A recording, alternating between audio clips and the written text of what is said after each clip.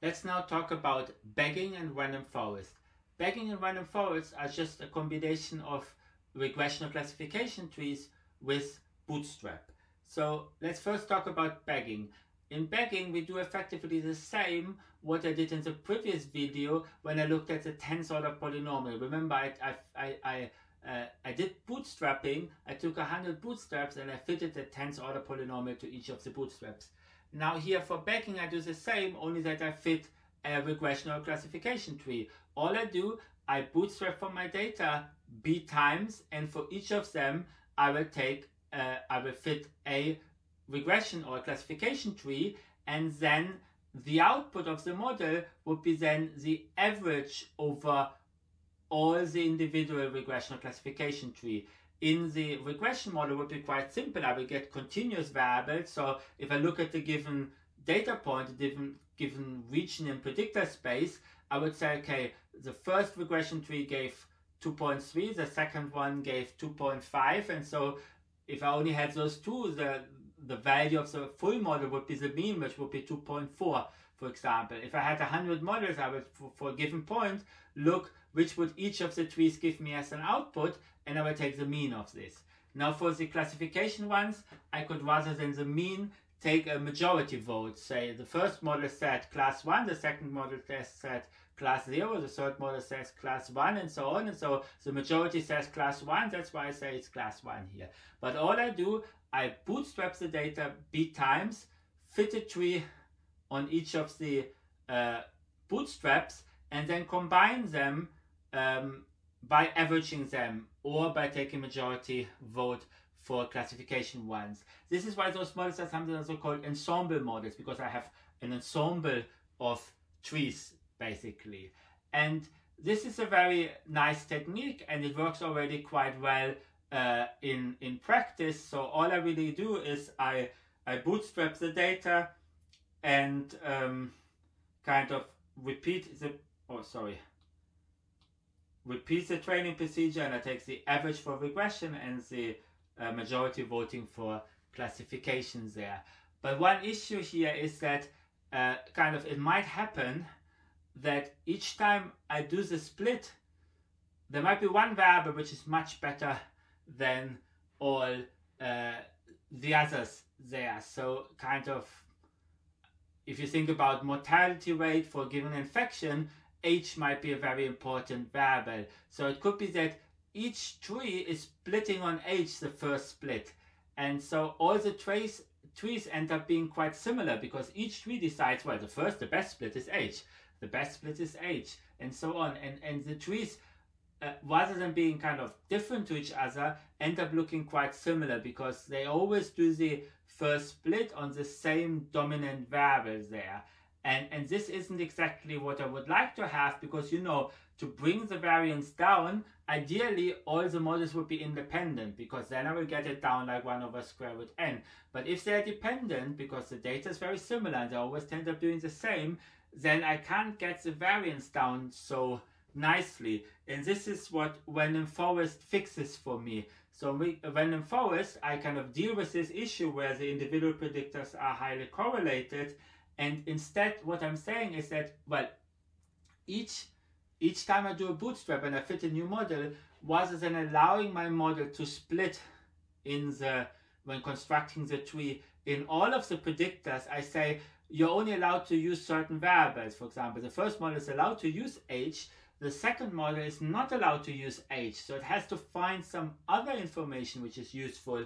And like this, it kind of uh, learns something orthogonal to the first one and combining those more orthogonal models with each other helps me to bring the variance down. And this is the key idea. So here what I'm doing effectively is each time I do the bootstrap, I'm now also only taking a random fraction of the predictors and then only use those reduced number of predictors to construct the tree. And generally a good number to choose there is the square root of the number of predictors. So if I have p predictors, I would take square root p predictors. So I would take this number of uh, predictors. Imagine I had four predictors, then each time I now do a bootstrap, and I want to fit a tree, I will randomly choose two of those four predictors and only use, use those two. And obviously in, in practice it will be um, more variables, it would be more something like maybe originally I have 100 predictor variables and now I only use 10 in the uh, reduced case. But by, by using only 10, I'm making sure that I'm not always using the same and that makes the trees to be kind of more different and this helps me to bring the variance down. So this is a very simplistic addition to the original one, but it is a very powerful one because this makes the boosting model suddenly much, much, uh, the, the random forest model much, much better than the original bagging model and is actually amongst these tree-based models one of the most competitive one. And even for many applications, always try out random forests. They perform quite well in practice. It's hard to do much better than them. Another model which performs similarly good is boosting, which we'll talk about next. But boosting and random forest are about the most competitive ones amongst the tree-based models. But even when compared to to deep neural networks or compared to support vector machines for classification, those techniques we'll be talking about for the rest of the weeks, those models are quite competitive. So always try out random forest as well, even though it's just a very simple kind of modification of the original bagging. And uh, here's just some general uh, remarks. So kind of, I made this remark already earlier. So we should not necessarily prune the tree. So we don't have to do like a cross validation to kind of reduce the trees because as I explained when talking about the 10th order polynomial, because doing more bootstrap brings the variance down, the best way is to take the individual model to have as small of a bias as it can have. So ideally I have a very complex model like an unpruned tree with a lot of leaves and then I take many of them to bring the variance down. So the basic idea is don't try to reduce the size of the trees for every individual tree. Take them as large as you can, possibly within reasons, obviously, of your computation, and then um, then you will effectively just perform more and more bootstraps, and it will bring the variance down. So each individual tree should be as big as possibly it can be, which means it has high variance but low bias, and then I will use the bootstraps to bring the variance down. But I couldn't bring the bias down. So if I had chosen them too small, then I couldn't bring the bias down later on. So I have to be, the individual model must have small bias, and then the variance I can bring down by bootstrapping them. And interestingly also, um, for example, the amount of bootstraps is not necessarily a kind of hyperparameter I have to worry about. In principle, the more I bootstrap, the better.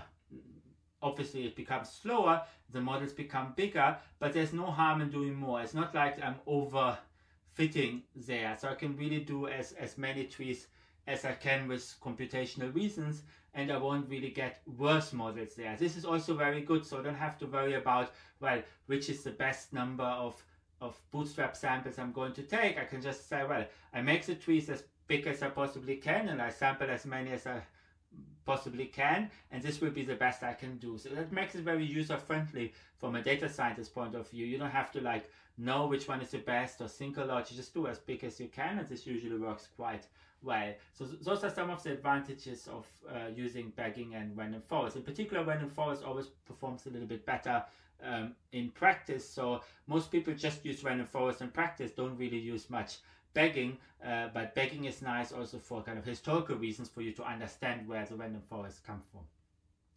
And now we go on and move to boosting, which is our next model.